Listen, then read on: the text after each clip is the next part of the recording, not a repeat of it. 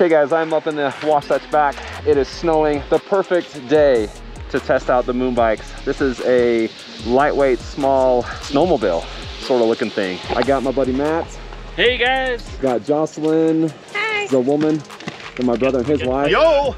And we got this guy, he, he's ready to go. He's gonna be our tour guide. So we're just getting all geared up, getting the helmets on. I am so excited. I've been waiting for this like all year. I met these guys a year ago at CES and I'm like, I gotta get on He's gearing them all up.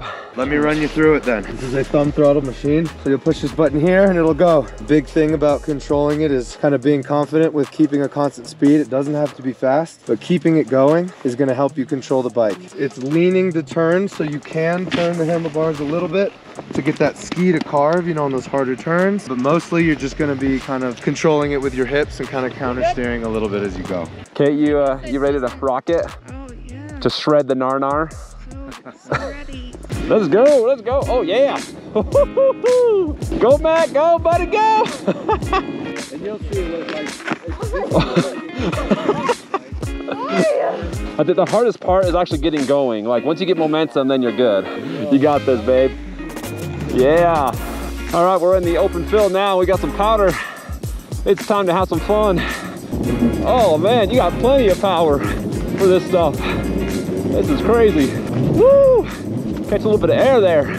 I've never been on something like this before. I've done snowmobiling. This is quite a bit different. takes about 10, 15 minutes to get the hang of it, hitting these bumps, catch a little bit of air.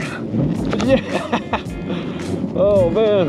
You're hitting like these just other tracks that the bikes have been through and you can actually catch some air. It is awesome. There's gotta be, oh geez, like two, two and a half foot of powder. And these things are just cruising right through it. Nico, right on. He's gonna run through all the stats and specs. So it's about eight feet long from tip to tail, but it weighs less than 200 pounds at about 190 pounds with the battery in it.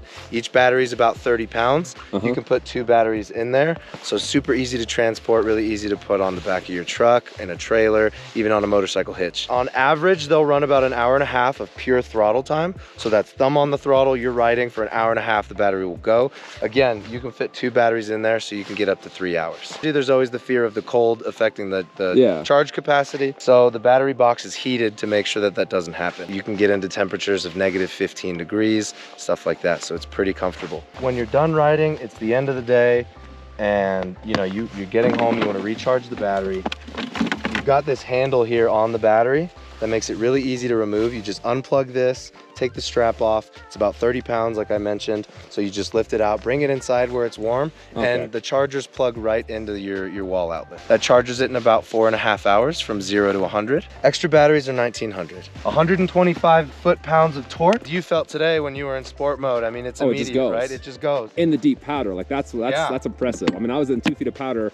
I hit that throttle, and sometimes it pops the, the front of the bike off. I'm like, whoa, Do a calm bit of down. a wheelie, yeah. which is awesome. So the patented design that we have, which is tough to see now because there's so much snow in there, but there's a hub motor directly in the track. These are the teeth of the hub motor right here. Oh. So there's no chains, there's no belt, so it's immediate torque, right? You push the button, it's pushing that track. We rate the bike at a 40% gradability. You can do that in a good foot, foot and a half of snow even too. So this is the display here.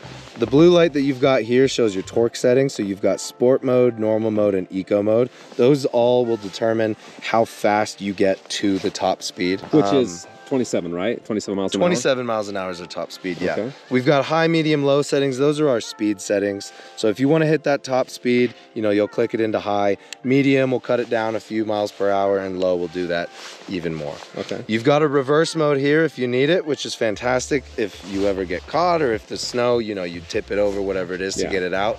It's it's it's beautiful for that and it's just the flick of a switch Okay. on off button here. You also have the key that's down here to turn it on. So you kind of got multiple ways to turn it on and keep the bike safe.